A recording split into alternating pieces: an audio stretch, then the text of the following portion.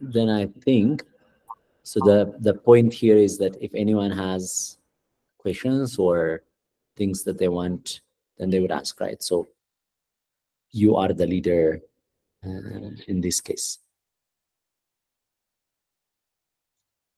And maybe you can also, not only just questions, but also if you want to comment about things, things that you have learned um, that you, you think is worth sharing, you can also do.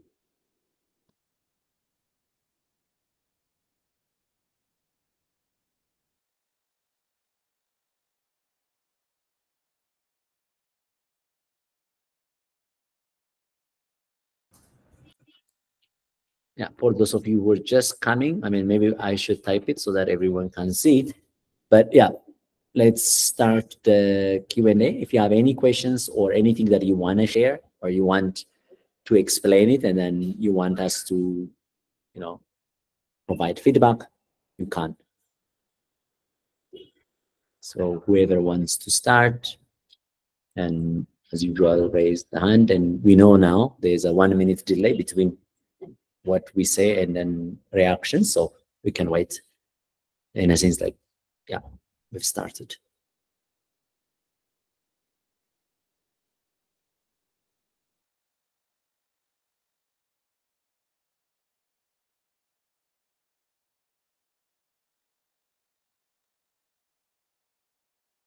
Hillary? Okay, so my yeah, my first question is on on Ragas evaluation. Uh, so we by default I think it's using GPT 3.5, but if if I uh since I'm I've done several I've done like two two evaluations and I'm I'm seeing that there's a lot of uh token usage. Uh so if we use if I shift to four I may incur a lot of usage. So I don't know if that is accounted for because um, I have to test different strategies, and that means I have to test, I have to generate, in my case, I have to generate every answer for every question that is in the evaluation, which is 10. And then on the other part, the RAGAS uh, will, they, they have their own prompts uh, for, for the evaluation. So they also use those ones to again contact the GPT-4. Uh, so if there are any, there is any like improvement I can I can do or modifications to reduce that, or if that is okay, you can also uh, yeah. can also mention that. No, I mean I think that's a good question, and um, just my the first thing that if I were to do it, I would be when I am experimenting, testing my code, understanding I would not use all. Um, I would be much more conscious of just only using one question. But once I have a feeling that it's good, then I will do, you know, I will then. So it's just much more of thinking of breaking it into your development. So if you are developing, you know, you're not you're not testing the statistics, so you don't need that much number. All, all you need is maybe just, you know, like even a smaller, shorter, even not the whole, you know, your retrieved components, they can be shorter, right? And once you are confident on the engineering aspect, and when you want to go to the next level, which is like more to look at the numbers that you get and all that uh, in, in a serious way. So earlier also, of course, you want to make sure that it's sensible, whatever. But the next level, let's say statistical understanding, in that case, I would gradually increase um, NC. So I would almost always break it into development and, you know, kind of more interpretation. So that's how I, I would do it. In that way, you can, yeah, it's like at the final one you want to, or, you know, in the intermediate one where you really want to see the numbers, uh, once you are confident of the things, I would be it should be fine to do it that way. So it doesn't, and another one to do, of course, again, in the development, you can choose uh, instead of GPT-4o, if you are not in the development, maybe use uh, GPT 3.5, which is an order of magnitude cheaper. as well. Accuracy wise, it might not be the same, but that would that would give you basically, you know, 10 times the token for the same price. You can use 10 times the token. Yeah, so uh, that that one helps. I will I will start with one question because actually for most of them, uh, some metrics like correctness is less than 0.3. So I'll start with one, improve on that, and I'll proceed. And also I'll, I'm using 3.5. so yeah, um, yeah, I will switch when I when yeah. my pipeline is good.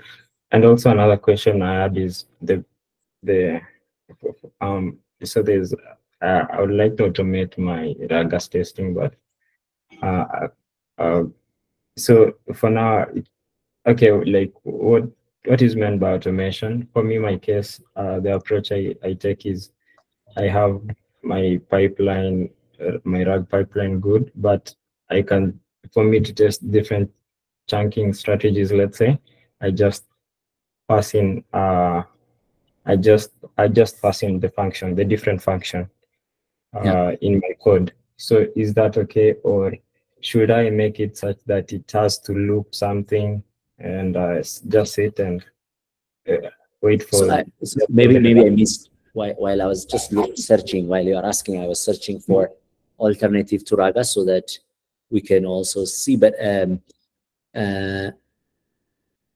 so I, I missed then actually the your main point, the question. So maybe can you repeat it just that the main point only? So when you uh, want to automate, you want to automate Ragas test, and you were explaining about the yeah what do you yeah, mean by want, automation? Yeah, I want to automate the everything like uh, the testing of every um, let's say the different chunking strategies I have. Should I pass the each one, uh, look at the results, pass another one, or uh, I, I would say I would say yes. In this case, in this case, I would be very very much. It is good to establish your pipeline, automation pipeline um, already and test them, but don't rely on when in development. Don't don't automate too much. So in production, the automation would help, and so that means in development only develop the automation, but not use the automation for um, for development. As I said earlier, you're not, this is not just uh, software development. This is machine learning and AI. The, main, the critical difference between the two, in one, it's all about code.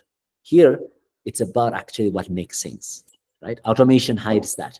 You, if you generate too much data, you will not have time to see it.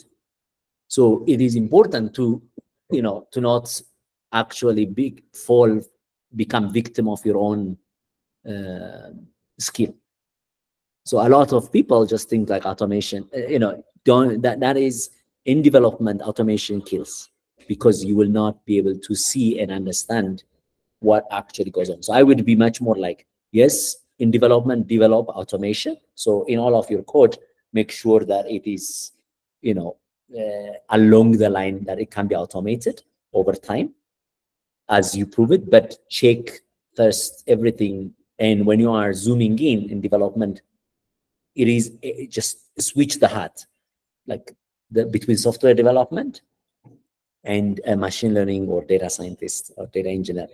And the roles are divided in such a way that normally data scientists are bad um, software developers for a good reason you know, because if they were software developers, they would worry more about the code and the pipeline and the part, but then they would miss the most important part, the numbers, their meaning, you know, what it's the inference. So it's it's a trade-off. It can't. So I think a, a very simple answer is that I would be in your development more of uh, take the hat of like writing your code such that it is amenable to automation later, but just don't automate it now.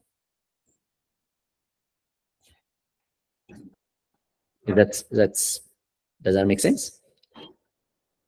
Yeah, yeah. What I meant is, and also like, is uh, that um, yeah, in in development, let's say um, okay, I can look at it like, but when I'm testing, let's say different strategies or different Yeah. methods like that, can I, uh, like, um, So it's I a grid approach, right? So one- you're one- saying like you- have many variables that yeah, that yeah, can I things- run them one at a time or, uh, you know, I have I mean, to with a script to do that?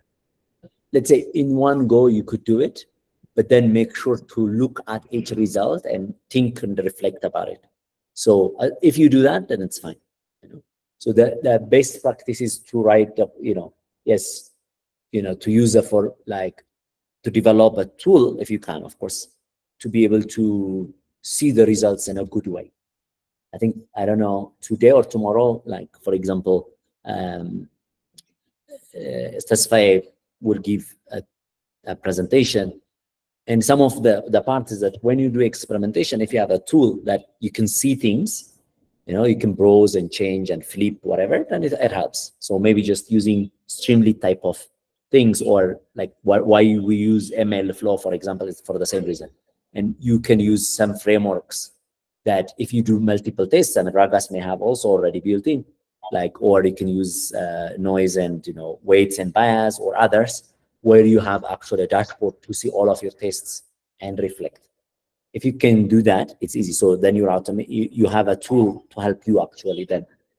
If you have developed, you know, if you have explored multiple parameters, it will help you systematically explore them. So for all your tests, use some framework that helps you, you know, that accelerates you. Yeah. Okay. Great. Anyone else?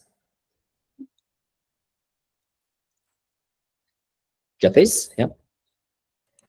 Okay, uh, uh, I'm not sure if it's uh, similar from the previous question, but uh, we, when we are, I'm trying to change different things on the like different strategies, maybe chunking, chunk, chunking strategy or multi-query and something like that. And I was trying to test that my changes on using Ragas, but uh, I was so I was developing different uh, RAG pipelines based on th- these strategies, but it seems uh, unstructured or uh, uh, a lot uh, because we, I, I'm gonna have a lot of different RAG pipelines. Is there a better way to do this, or should I just uh, try to change a little bit and see if the result is a better one or something? And I'm trying to find to find or to relate those RAG RAGAS evaluation results, and I'm trying to uh, compare them.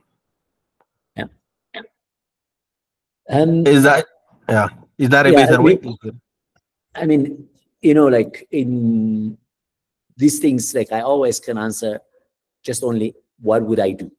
Because the the better way you have to research, and you know, there isn't one way. When you do some experimentation and research, it's a lot more about you know learning, right? You they, but what I would do is again, um, first I would really understand. Like I have, I make sure that I have a kind of an understanding of what each metric are and maybe read a little bit more if I don't understand them. You know, I think yesterday, uh, some one of the person asked actually, maybe it was uh, um, Michael, uh, what like okay, you have done that. You know, what should what metric should we see? Um, you know, to optimize. In a way, I would be more focused about like thinking about the metrics and what they mean. And so there is a lot you can do without just without even experimenting. Like, you know, by just understanding the matrix and by knowing what actually the goal is, the business goal is, the Q&A. And, you know, you can solve many of the issues without even running an experiment, just by, by having a, a- clear understanding. And when you have, when you are not, when you have some, you know, doubts that, you know, this probably is good to test, then you just test it, right? So in part, that's experience driven one. So when you don't know much, you usually test everything. And as you build intuition, you try, you only be, you know, you basically run experiments with a good hypothesis. So what I am saying in a very simple way is that generate hypothesis first before you test anything. What are why are you testing?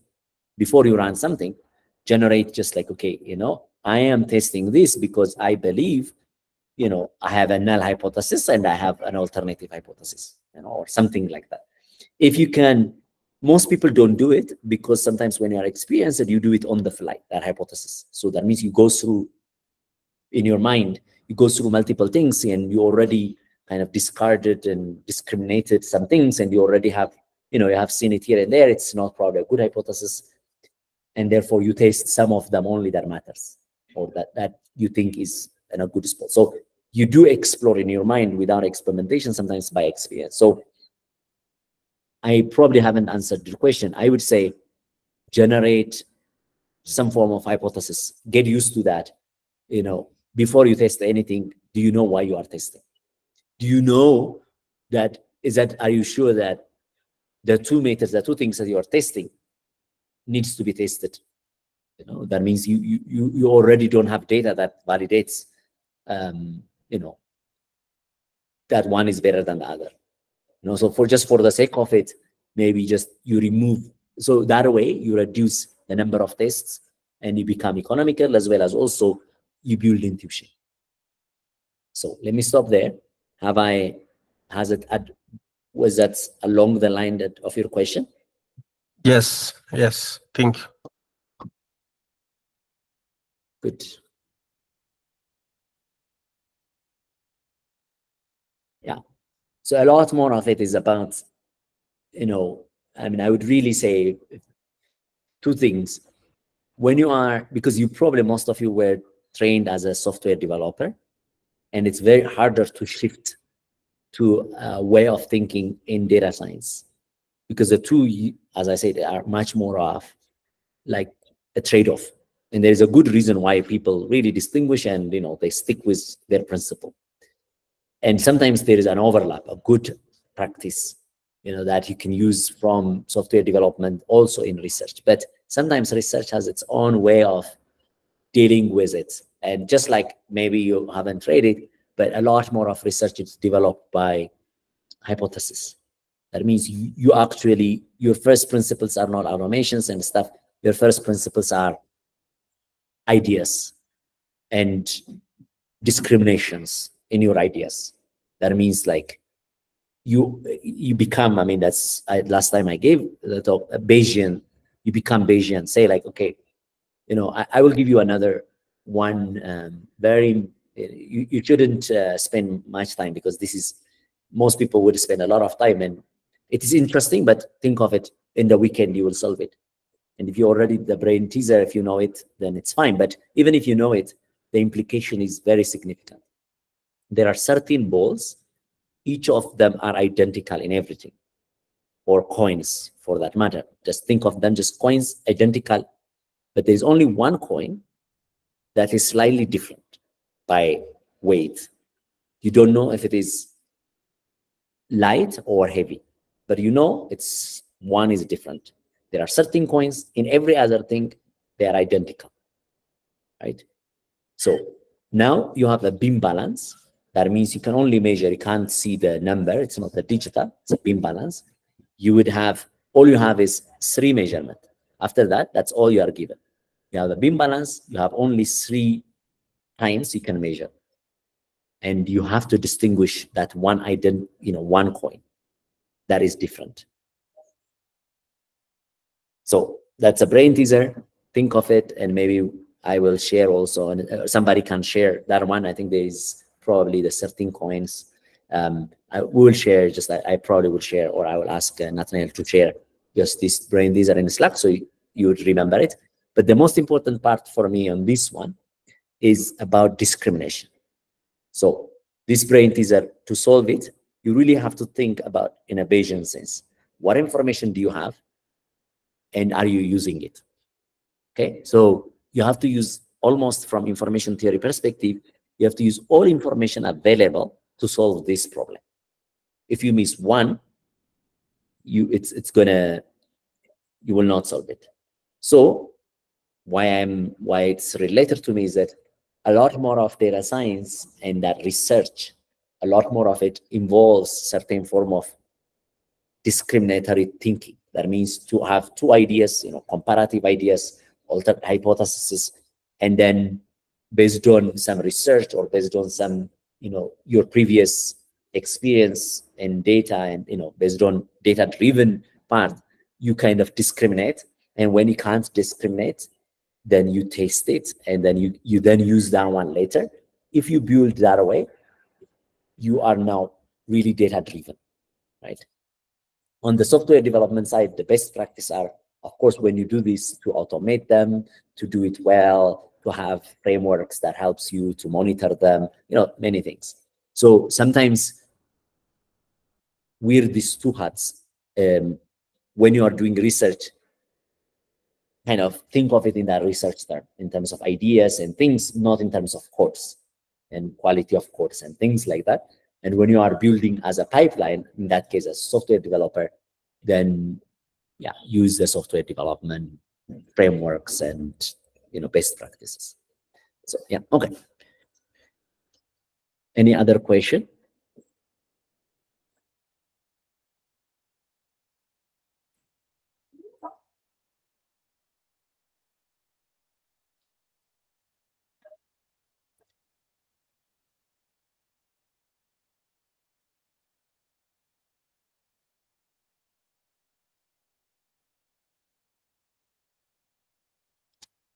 Yeah, yeah, please. Okay, maybe one question on uh, the retri- retrieval part in the LLM side. So uh, what I understand is that we the the code will retrieve uh, based on the user query from the vector database. That's uh, and get the the document from the vector database. Then it then the, I think the LLM is will play a part to use the retrieved document uh, to answer based on its uh, based on its uh, the user query and the retrieved documents. So what what I was trying to understand is that if we have a good uh, uh, retrieve, maybe how we how we can check it's good retrieval because it will depend on the answer from the LLM will depend on the retrieve the good retrieve document and also and based on the model. And also we said that if we use multi-query it will depend on the user questions also. So these three things and the llm will gonna give us a better uh, i think a better uh, answer. But how do we evaluate maybe a, li- a little bit tip on the retrieval part that was Yeah, um, so, but it's already Ragas would help you that, right? They have matrix. So if you think of it, just evaluating just if something is good, um, if a context is good or not. If I ask you now to solve it, what do you do? So forget rag, rag. I'm just saying like I have a method that gives me multiple contexts for a certain question and I want to evaluate it if the you know that the context is actually good. How would you come up to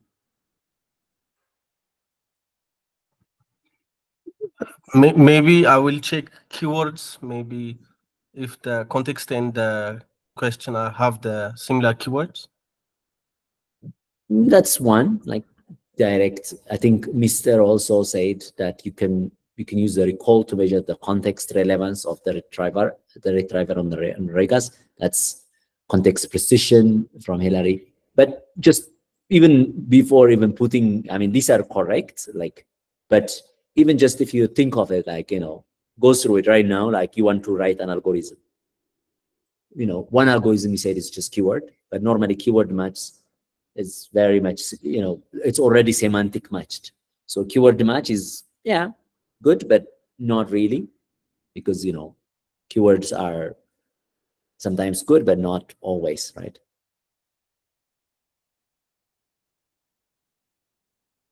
So what do you think ragas is doing? Reverse engineer.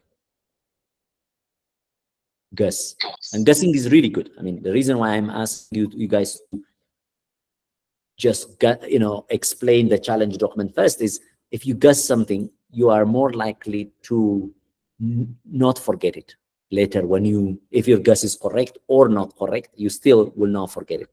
So my, uh, I've learned it from different people. One way of learning is by guessing. You first guess before you do anything. So if you have to, so, you know, if you have to understand Newton's laws, you don't just read about Newton's laws, but you, you assume you are Newton and you try to understand what problem could you solve. You know, it's like, okay, there's some gravity thing. And you try to come up with Newton's laws first yourself, and then you read to correct. So this is back, back, you know, back propagation more or less. If you don't really first have, even if a wrong prediction, you can't back propagate. And humans are very similar. And if you're just only absorbing some information, normally because there wasn't a prediction from your side, you can't learn much. So one strategy is really to guess, even if it's wrong.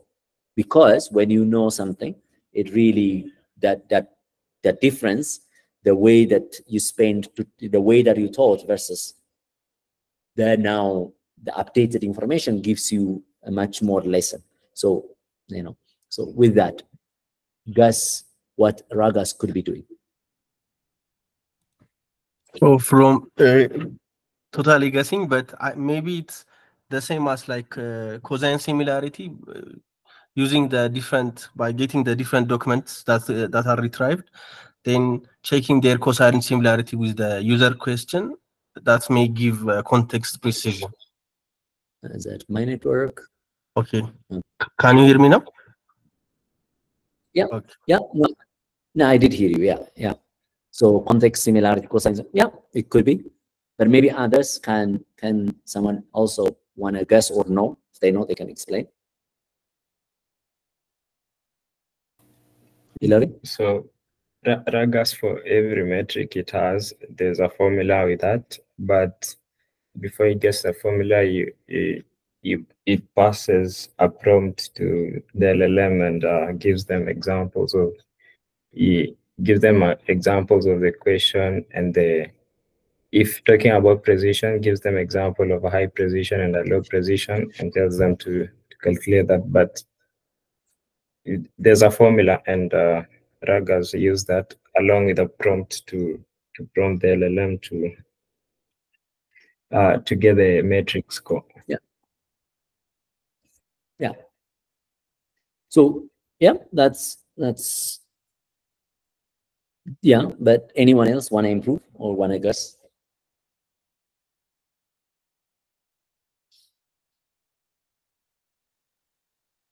You know, just in this case, for example, the hat is algorithm design. You're trying to design algorithm or reverse engineer.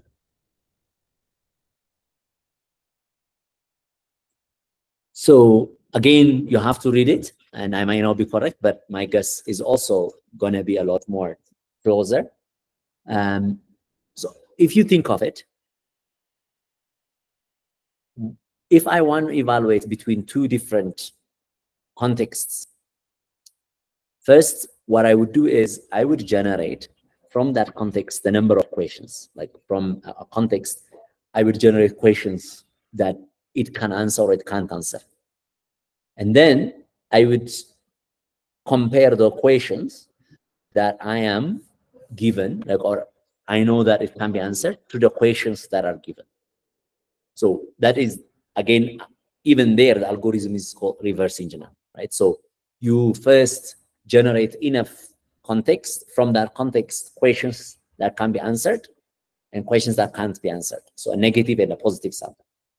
And then you say like if i give you now a question i could really see which where does it fall? Again using the cosine similarity for example it could be based on questions. But by having by generating questions and comparing the generated questions with the past query you will be able to know in which category it falls. So now, based on if I generated, you know, I don't know, 10 samples and I order them like from negative to positive, you know, where it falls would give me certain number, right?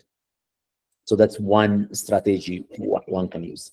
And if you go and read Ragas's how it actually measures that, it is along this line.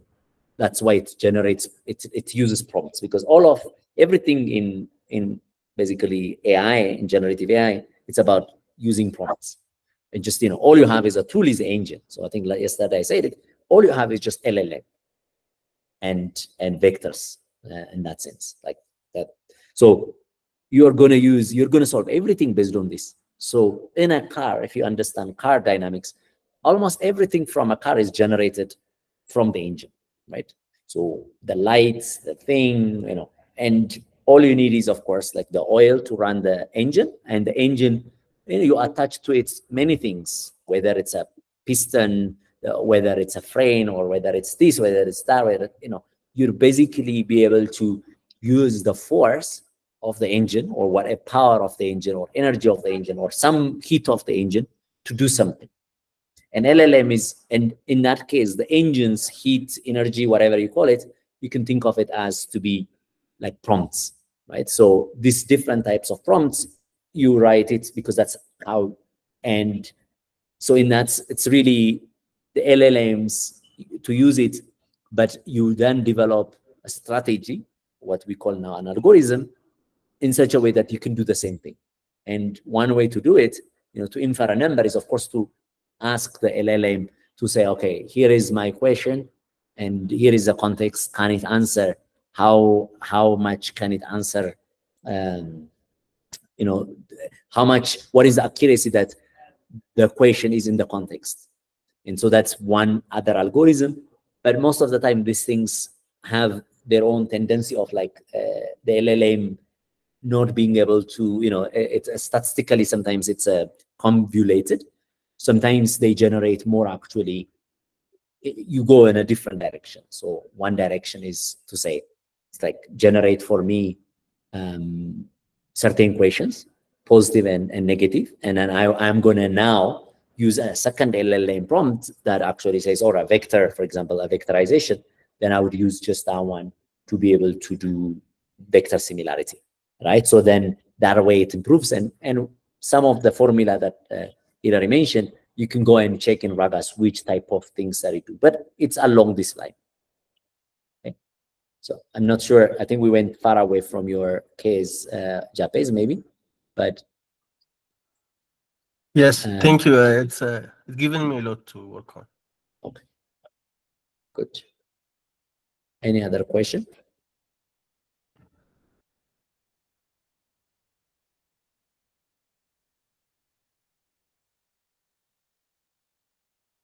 So yeah, overall, it seems to me you guys are really closer. So that means most of the, I think there was a question from Mahuba.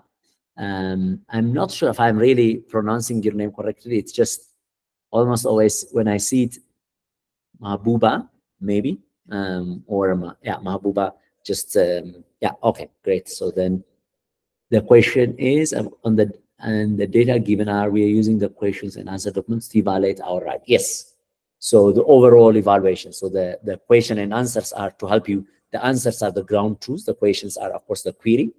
And you will be able to know now, given that you have the ground truths, you, you can pass it to Ragas actually to give you, to evaluate all the RAG. In RAG, eh, RAG has many components. So if you are just end-to-end -end evaluating, that means you are evaluating all the way. But if you are evaluating, if you want to evaluate manually just the retrieval, then you know the solution and you can go and, and see which context contains that answer from the document. And you will be able to then evaluate only the part of like actually did the retriever retrieve that context. And that way you can use just only to use the Q&A answer by expanding by giving it actually the context as a second um, you know by adding it by enriching it yourself. You'll be able to also measure only the retriever component and if you now have a good measure of the retrieval, then by subtracting from the overall accuracy, you will also be able to measure just on the generation component. So, you know, you will be able to then test either independently or end-to-end. But if you're just using only, you know, the question and answers, what you are testing is all the way. That means every component of a RAG. Hopefully that answers. move on. Okay, and I think Abu Bakr seems to have then a question. Uh, yes, can you can you uh, repeat the the answer? the Yeah. testing between retrieval generation. Yeah. So what does it mean retrieval testing? It means whether you are actually extracted the relevant context. So if you now have a ground truth that you know where it belongs, you know the context, right? So what context that it should be answered. Now you can measure the noise. Noise means how much of your chunk actually in one method is returned. You know, for example, the let's imagine the actual context, the, the key context is let's say five, you know, around uh, 10 lines, which contains both the question type as well as the answer type. So it's let's imagine uh, 20 tokens contains that. Now, everything outside that probably would give you um, noise, right? So it still helps, but it may be noise. So in, in principle, by just identifying that part manually, it's not given now, so you have to do it actually, but you will be able to know to measure only the retrieval component, both you know whether it is has a much higher noise, lower noise, you know, accurate. For example, maybe it was it biased because similar number is somewhere else, and that is the one that retrieved. So based on that, you would be able to measure just one component, which means in this case the retriever. And if you have now the retriever actually fixed, that means you know you have a good retriever. And then once you measure the overall, you know if your error is quite a lot, you know the contribution from the retriever is small, so a lot more is in the generation. So you will be able to attribute the error from the overall um, by by doing some again it's a Bayesian statistics. You know, if you have error one, error two, and you know, then you can do some mathematics. Even if you don't, but at least for interpretation, it will help you. Yeah, go on, Abu Bakr. Okay, so uh, from from what I understand, uh, we we just is there a systematic is a systematic way of uh, like testing the retrieval? Uh, uh, it seems mean- like we are doing it manually. I mean, you, you you can you can do vector like you can basically search. In this case, you can basically search a keyword search because you know a ground truth. You can search it where it it it exists, and around that you can do something, and then you can use LLM just to just give you only like the context that actually is relevant. So it's summarization. So you can let's say like you go and by just keyword search, you find the place, and around that, um, you just do summarization to get.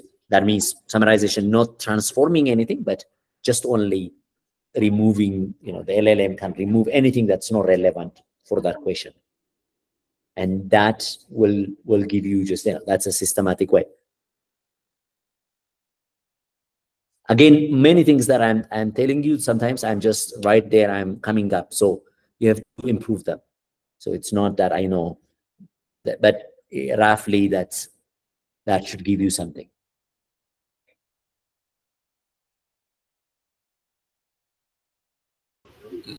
so so like uh, are we for example uh, in in the in the if we implement the keyword one so are we going to like So you know the ground truth, right? the similarities No, you have a ground truth. Usually, the ground truth is means unless it's uh, unless it's refreshed, you can find it in the in the keyword. So, for example, for the numbers and stuff, if not, it may not work for all that are refreshed, but there is not refreshed. So normally, if there is citation, I think I don't know if they cite in the Q and A. If there's citation, you would be able to use it. So you or manually you can go and cite it where it is actually. And then, so the keyword is to do citation. That means to find the place in the document.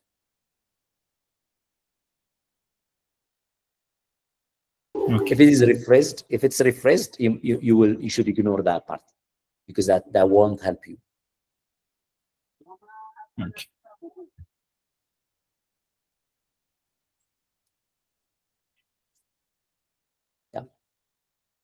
Great. Okay.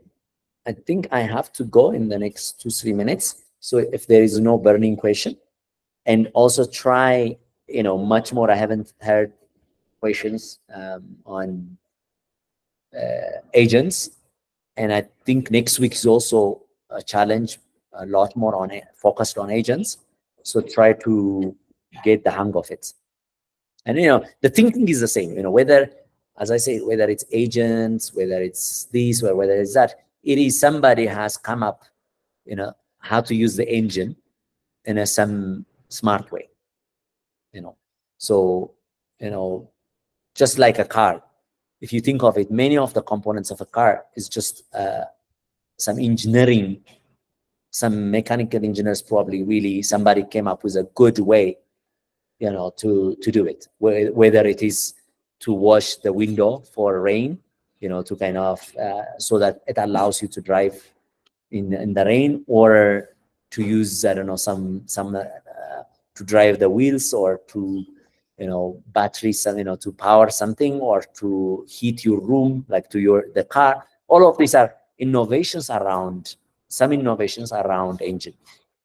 And llms agents are just another type of innovation around the engine in this case the llm so it is the the essence are similar. There's going to be one way or another there's going to be prompts that are sent from from whatever to the llm and the LLMs answer, and that answer can be different type. One are some are just free form, some are much more customized. Let's say if AI functions like function types, some are more JSON types as an output. But based on what the LLM allows as an output, then you would use that one and then use that one, for example, then either as a classification or regression or like a free form writing. And then you transform that and you know, then just becomes agent. But agents are same in part. So if you can think of everything in the in the currency of prompts and LLMs, then that is that's kind of more or less you are understanding. Don't make it too complex in your head. In your head, you must understand from first principle what an agent is, and you should describe it based on prompts and LLMs even agents, and just and then some innovation around them. So as long as you have that, then it gets clearer. Yeah, Abu Bakr. Uh, so apologies to take your time, but on the query translation part, so yeah. Uh, there are different kinds of query translations. So, uh, we just started with one of them. So, like, is there a justification uh, we should actually be doing uh, based on the tasks given or what what's your take on that? I mean yeah i mean in a way it's these are different strategies you know why are you translating? You're saying there is no sufficient information. The llm is in principle if it was so smart it will do the translation itself. But sometimes it's a correlation right? English that's written in one way may have multiple meanings and if I translate them, then I make it explicit for the LLM to be able to know it. So sometimes it is if you know think of the audience. If the audience are is smart, you might not need um, translation.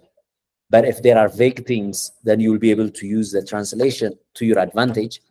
And even the most the good uh, the most intelligent form of translation that I know is actually it's called um, semantic route.